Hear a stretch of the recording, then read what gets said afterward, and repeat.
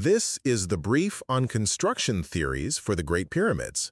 We're diving into the ongoing debate over how exactly the ancient Egyptians engineered these monumental structures, contrasting traditional findings with some of the most fascinating and controversial alternative theories. First, let's talk about ramps.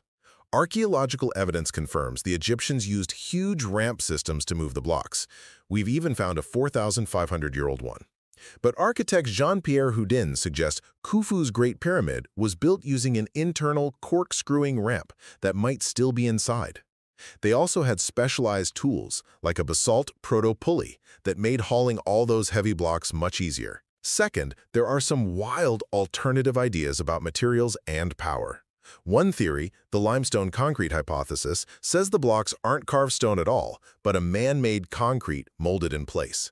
Some researchers actually back this up, pointing to odd air bubbles in the stone. Then for the older Djoser step pyramid, one model suggests the builders used hydraulic engineering, basically a water-powered elevator to hoist the stones. Finally, you know we have to touch on the ancient alien theories.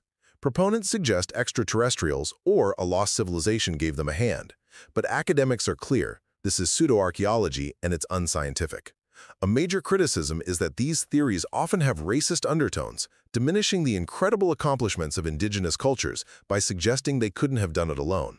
Whether it was simple ramps, poured concrete, or clever use of water power, the true genius behind these monumental wonders belongs to the ancient Egyptian builders themselves.